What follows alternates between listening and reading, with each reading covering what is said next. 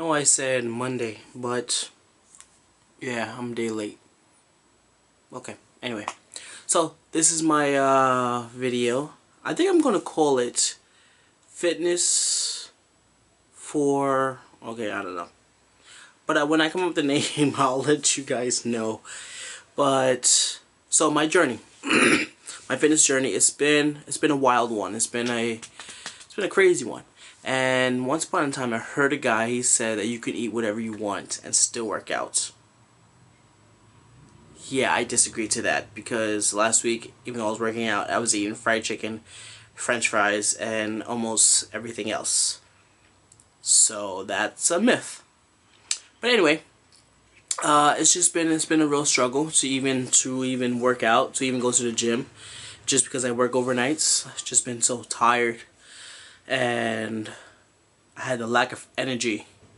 But I'm definitely going to be trying again to do a two a day workout two days a week. And then the other few days that I can go it's just going to be a one one a day workout. And then I'll see how I take it from there. But so far it's been good it's been good. Uh, this week I'm going to start to uh, journal what I eat what I work out my beginning weight uh, for September, write that, and then um, then at the end of the month, write out how much I've lost, which is really not going to be that accurate since I started about maybe about a week or two ago or less. So so that's that's really my my fitness uh, uh, journey so far, and what I've been doing is just at the gym, just either the treadmill, the elliptical, or a cycle machine. It's actually a stand-up cycle machine. It's actually pretty good. Because uh, I go to Planet Fitness, so I'm not sure if you guys know about that one. But yeah, and so I've been doing those those three, um, two, uh, two a day, uh, two two uh, two of those machines, either elliptical or the cycle machine a day, or the treadmill and the elliptical or treadmill and the cycle.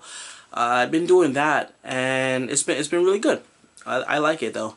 I do about 30 minutes on both machines and I would start off with, well I would uh, finish out with squats and that's just my routine for now because I want to uh, body build and stuff like that because I just want to lose all my excess stuff before I start to body build.